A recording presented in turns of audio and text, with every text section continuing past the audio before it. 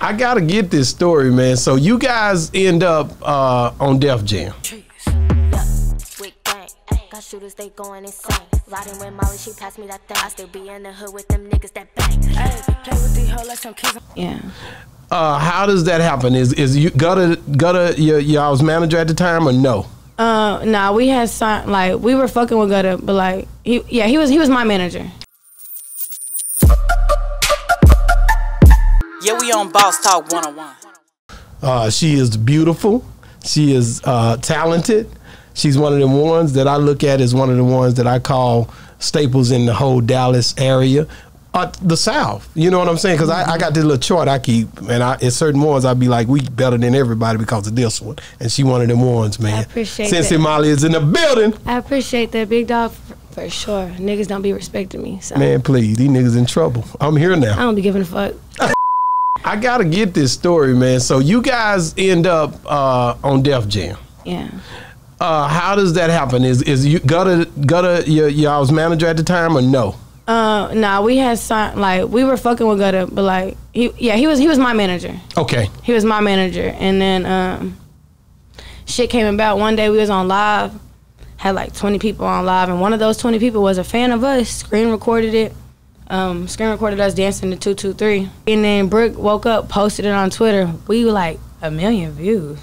What the fuck? And that was your first million views. Hell yeah, it was just a video of us on live dancing, like Right. not even dancing. We were just like rapping our song, you know. Mm-hmm. And then so we check our emails. We both get an email from a Def Jam uh, A&R talking about, hey, we seen your video, we like it, da da da. We like, fuck. Next thing you know, we flying out meeting with all the labels. We in New York meeting with everybody, but Def Jam actually like they spending money on us before we sign. Wow, mm-hmm. that's the that's the determining factor. So is that Yeah. why you chose? Hell no, nah, we chose them just because we felt at home with them. Like they wasn't pushing too much, they wasn't doing too much. It just felt good at the time. The only reason why I wasn't good no more is because our original team left. Mm. oh, that's what it was. Yeah, like the team that we had behind us. Well, not even our team. All the teams left. Like everybody. Why did everybody leave them? Def Jam got a new thing going on, and they just new new roster, new employees. Rosenberg left, the CEO he left, like you know, so it was just not it no more. They wanted to, they wanted to do a new like venture with me. Let's I'm gonna use the word venture, a new mm-hmm. route with me, and we had a Zoom call, and I was like, That's not you. I'm like, no, I'm done. Like, I don't want to be here, and they're like, what? I'm like, I'm done. Like, But when you have a contract, can you just do that? No, but that's the thing. They broke our contract basically. doing- so yeah. without us making it the long run and going to court, all that long run shit, just let me go. Like, let me go. That's good. Uh, so you you basically you left, but I want to talk about the time that you were there, the budget that they had behind you. Was this a 360 deal?